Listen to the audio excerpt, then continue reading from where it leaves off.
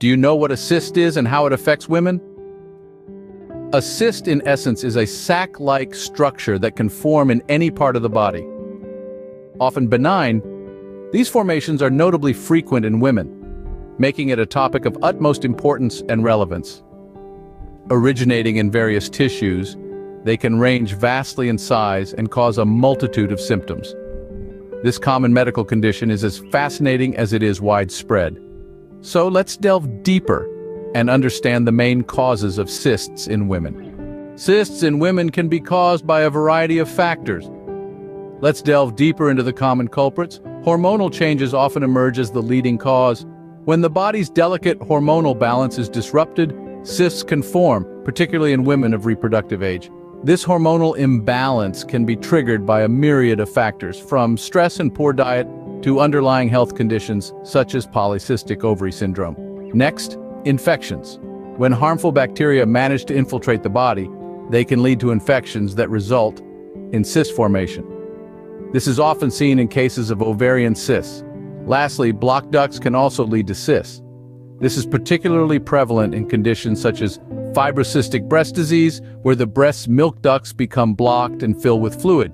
Cysts are complex and multifaceted, but understanding their root causes can help in managing and preventing them. Now that we know the causes, let's move on to the different types of cysts. The world of cysts is more diverse than you might think. They come in many forms and sizes appearing in various parts of the body. Let's delve into a few common types. First, we have ovarian cysts, fluid-filled sacs that develop in or on the ovaries. Women may experience bloating, abdominal pain, and changes in their menstrual cycle. Then there are breast cysts, round or oval structures that often feel like a grape or a water-filled balloon. They can cause discomfort and tenderness, particularly in the two weeks leading up to your period. Lastly, we have skin cysts, small round lumps under the skin, often filled with a substance like keratin or sebum. They're usually harmless but can cause discomfort if they become infected or inflamed. Each type of cyst is unique with its own set of symptoms and characteristics. Understanding these types is crucial, but knowing the treatment options is equally important. With advancements in medical science, dealing with cysts has become more manageable. Today, there are several treatment options available, and these can be broadly categorized into surgical procedures, hormonal therapy, and lifestyle changes. Surgical procedures are often the first line of treatment for larger cysts.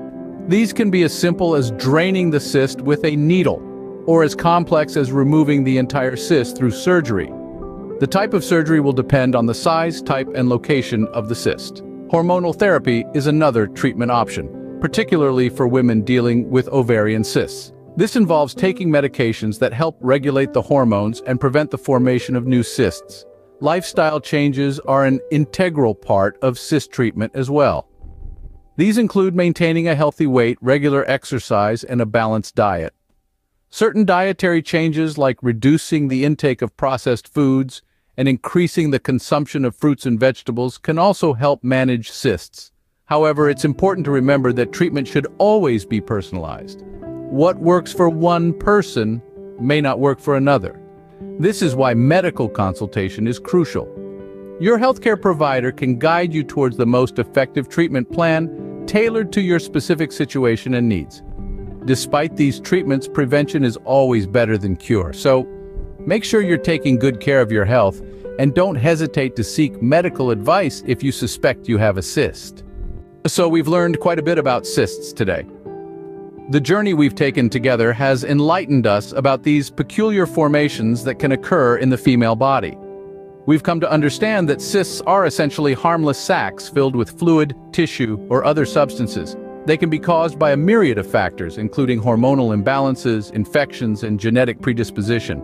We've also explored the various types of cysts from functional and dermoid to endometriomas and cystadenomas, each with their own distinct characteristics. Moreover, we've delved into the realm of modern treatments, highlighting the effectiveness of medicinal therapy, minimally invasive procedures, and when necessary, surgical intervention. The crux of our discussion has been the importance of awareness, early detection, and seeking professional medical help. Cysts can be a daunting word, but With knowledge and vigilance, we can navigate this terrain with ease and confidence. Remember, your health is in your hands. Stay informed, stay healthy,